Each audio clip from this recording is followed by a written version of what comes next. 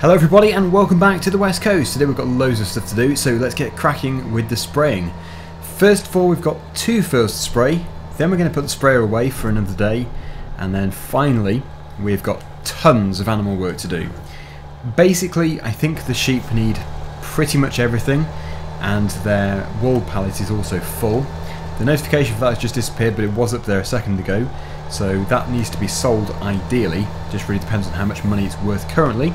And then the cows, they need to have at least water and probably some silage, just something to be getting on with before we get the straw for the total mix ration. Uh, it, does, it does even say that they require silage too, so that is easy enough to do. But yeah, first of all, if we can just get these final two fields done, basically just this field here and the very small field across the road there, everything else I've already done off screen and a couple were done in yesterday's episode.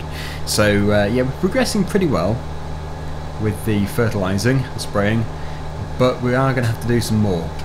So next episode we'll do some more as well, and we'll finish off the episode after that, at which point every single field will have been sprayed, meaning they'll be 90% more productive than what they could have been. Some will actually be 100% more productive, just depending on whether they've been ploughed or not. So uh, Although this sprayer might not be actually seen in the UK, as somebody pointed out, I don't know if it is or not, it doesn't really bother me, just because it is a decent sprayer, and you, you wouldn't even know really actually. It might be used in the UK, who knows.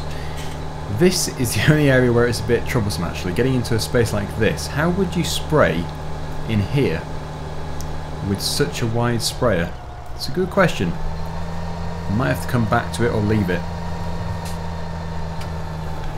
But really, I just want to get most of it done.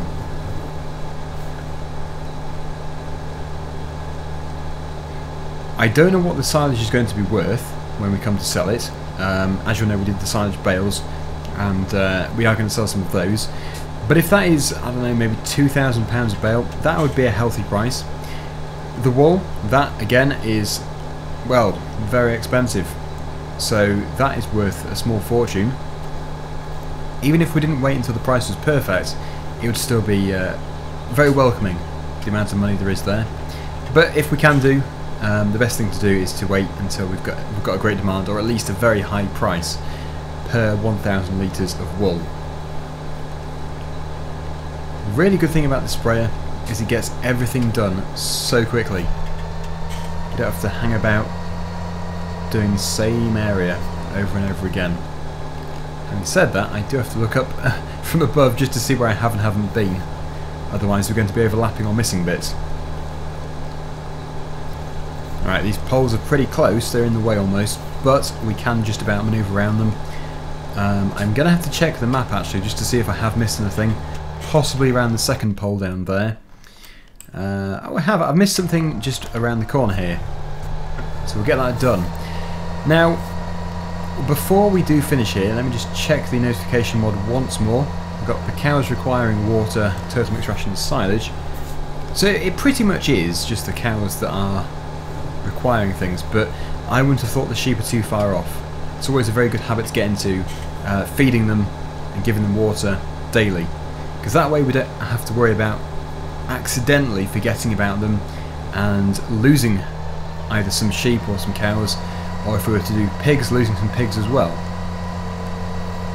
So when we have done whichever field it is over here, field number three, which should take a matter of a minute, I, I should think, a couple of minutes, um, we'll go straight over to, yep, I've forgotten the name, how do I do this? It'll come to me, River Rock Farm, I think it's River Rock Farm, let me check, yellow one. Yes, I got it right, fantastic. It's a breakthrough. That means that I am starting to get used to these names. Just as we're coming to the end of the series, kind of. We still do have another 10 episodes or so, but we are certainly past halfway. Thoroughly enjoying it though. Um, I don't think it's a series which I'll ever just be able to finish. We, will probably take a break and then come back to it. Just because it's good and we are doing fairly well actually. Better than normal anyway. Because I usually fail miserably. So yes, let me just finish here. And then it's going to be a case of going to the River Rock Farm and sorting out those sheep.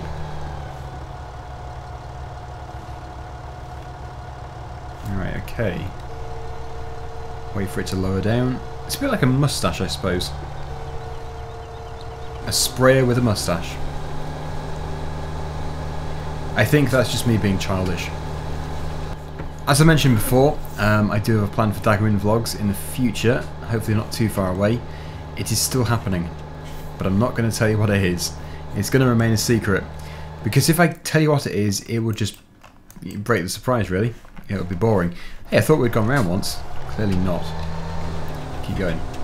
Yeah, it'd ruin the surprise, so um, I'll keep it a secret. Just stay tuned to it, stay subscribed to Daggerwin Vlogs, and you'll find out sooner or later what my plan of videos is. Coming soon. We just have the perfect amount of spray chemicals, that's very good. There we go. Right, let's just check that map again, and it should be totally filled. It is.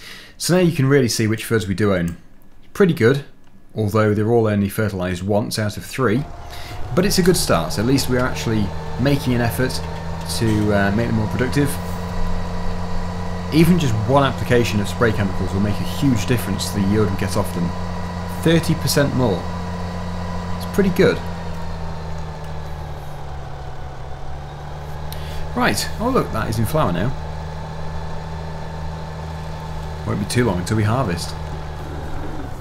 Let's go. I'm going to put this sprayer over at the top farm here, and then we'll probably drive, I would have thought.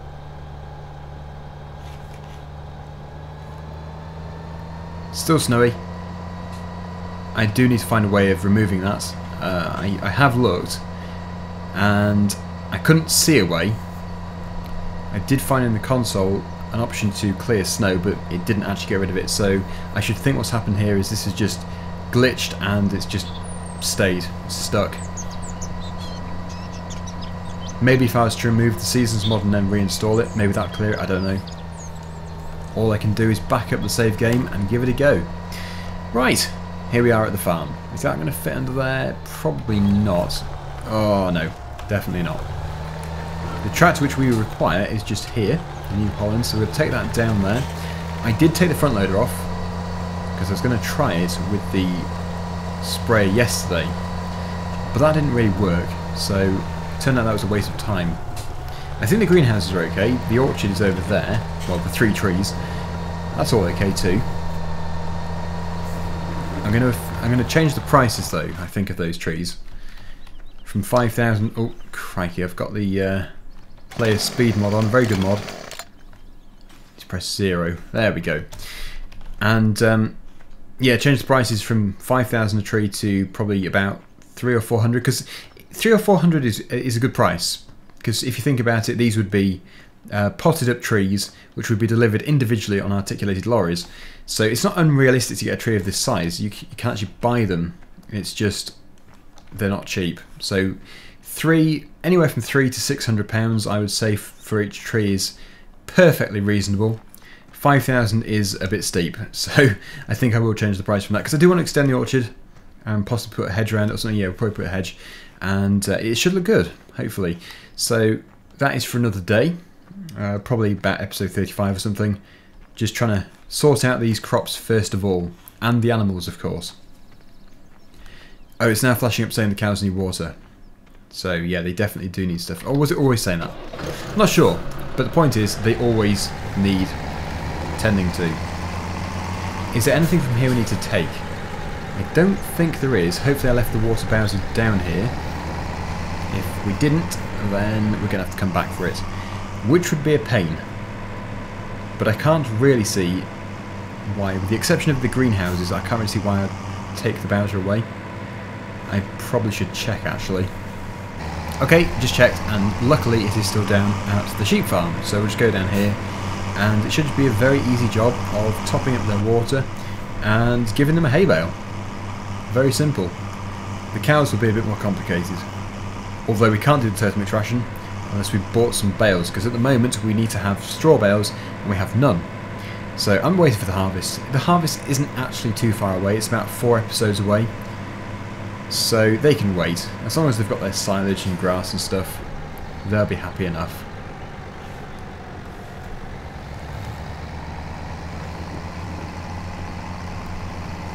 Here we are at the sheep farm. Luckily, the pallets are allowed to spawn in front of the four pallets, which is very, very handy. Now all I have to do is play the hunting game. We're going to be hunting our front loader. Unusual thing to hunt. Ah, oh, there it is. Good. Yes. It is good that it is not tucked away behind something, because I did actually reset the tractor to get it from here to the farm. I probably shouldn't say that. It's just I had to. It's in a big rush um, whichever episode I was doing it in, meaning the front loader was just left where it is. I don't make a habit of doing that in the realistic series. Had to be done. So, should we do the wool first? Maybe we shouldn't actually. I'll move the first pallet out of the way and then we'll uh, we'll, we'll do the uh, the sheep.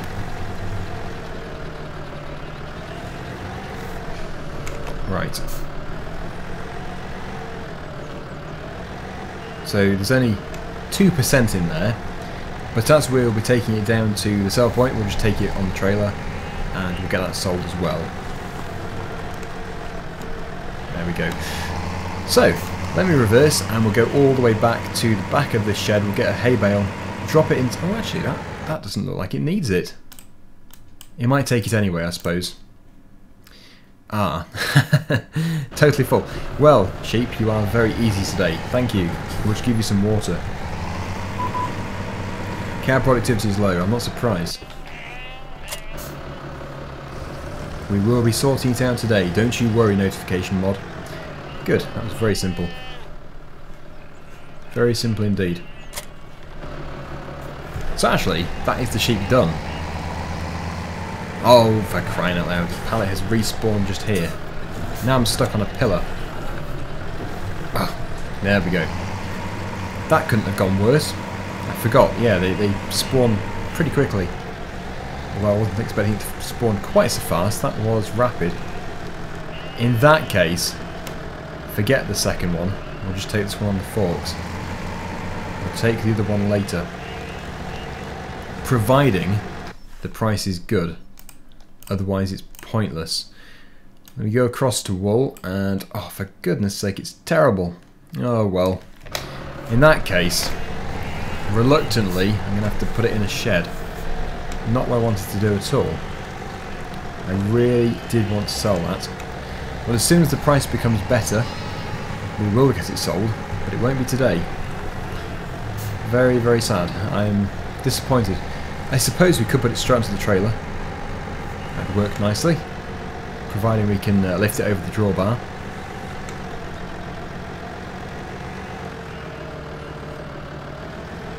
There we go. Now, do the cows take hay? I think they do. Yes, they do. But you can also substitute that with silage. So that's what we'll do there. Power food is nothing we can do at the moment, and grass is sorted, straw's good, water is essential. So actually, if you think about it, we haven't actually uh, neglected them much at all yet. I'm not planning on doing it, it's just usually when I have multiple numbers of uh, animals, so we've got um, sheep and cows, or if we had pigs as well, I would uh, tend to not pay as much attention to each one, each type. But I think so far, it's okay. Oh, we have to take the Bowser, don't we? Because at the moment I haven't actually got another source of water. I keep being told to fill it up from a river, so that's what we'll do if we have to, instead of paying for it. Should be enough water, although they are very thirsty beasts, these lovely cows. But there should be a refill point somewhere down the river. Is it a river? I think it is, somebody told me. Yeah, the river. Good. Right, well off we go. Now it's always very easy to find turning to Mountain View Farm because it is pretty much opposite exactly um, whichever farm it is up here. Little Woolhope I think it is. The opposite um, to the entrance to that is where we need to go to. That's the cement yard just there. So it should just be up here. Looks like we've got a tailgater behind. They really are persistent. Hanging back a bit now. yeah, so just here, we've got up there, Little Woolhope Farm, and the dairy farm is just up here. It is, it's totally opposite. So it's always very easy to find. We might think about getting a flail mower or something getting these verges sorted out. I always call them vegetables, I don't know why. getting these vegetables sorted out with a flail. That wouldn't be a wise idea. The thing about this map, and pretty much every map, is there's so many fields that I can't really explore every aspect of it.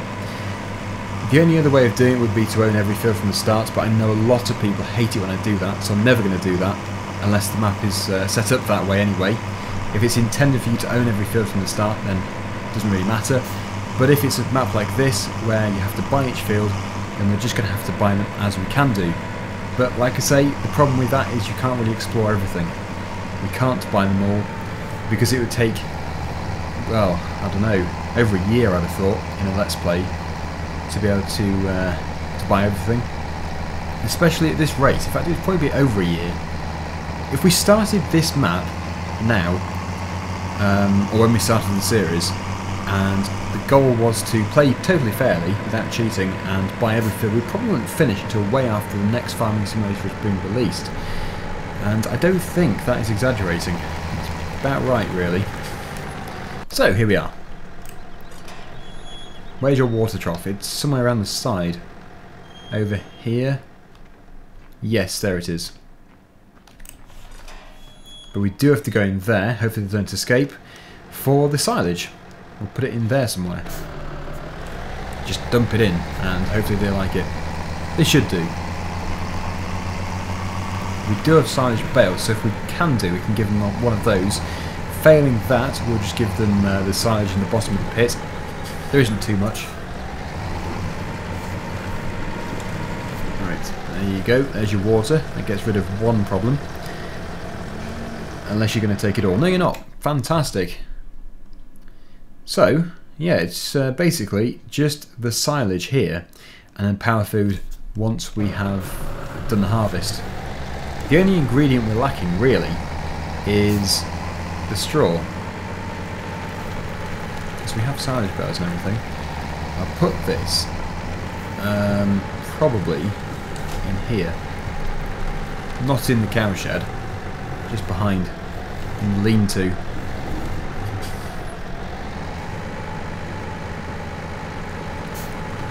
Somewhere in there. It's a bit tight, uh, but we should be able to manage it. There we go. Not quite as far in as I would have hoped, but there's nothing we can really do because the gate is in the way. Okay, so did I leave a bucket here? If not, we'll choose the forks to pick up a bale. A bucket. Hmm. Where did I leave the bucket? Actually, yes, we have got the forklift around the back. Wise thinking. There we go. Uh, move the John Deere. Doesn't really need to be here anyway.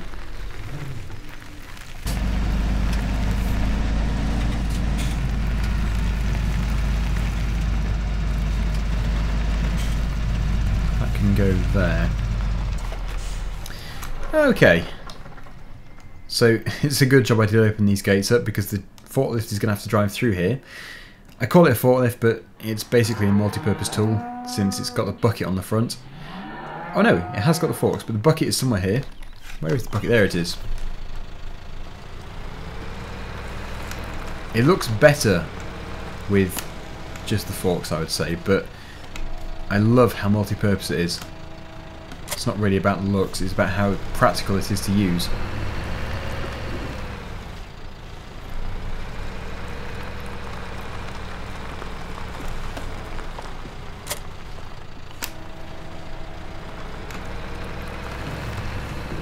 Really, really good. So, if I can just, uh, yeah, drive through here and grab some silage without hitting a cow, then uh, we'll be doing well.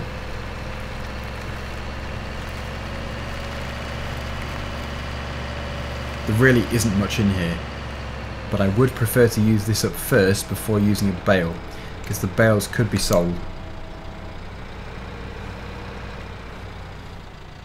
doesn't have much downforce, which is a slight problem, but not too serious. It might just be the angle I've got it at. Uh, if I just do this, should sort it out. Yep, there we go. Just needs a bit of weight behind it. Perfect for manure though. When you're trying to get the dregs of some silage, then it's a bit tougher for it.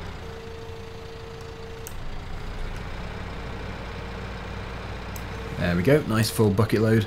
I wouldn't have thought they would want any more than this, but we'll have to wait and see.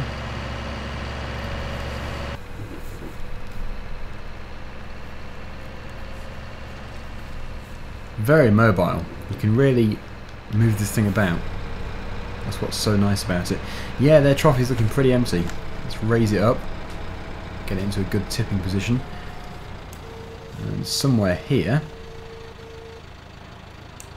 Think, yeah, that's working. Can go there. Do they need more? Yes, they do. Two bucket loads exactly. Off we go for the next load. Oh, that's going to hit. Better lower that down a bit.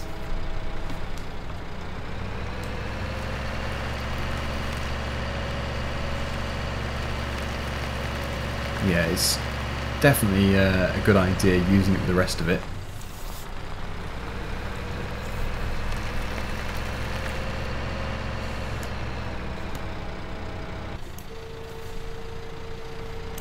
Here is bucket load number two. And there's still some remaining. Impressive. Because this is going to suffice for at least three days and probably more. So we're not even going to have to break into the silage bales for a while. Which is nice to hear. So yeah, let's just get this all tipped and it should fill the fill gauge bar thing to 100% hopefully.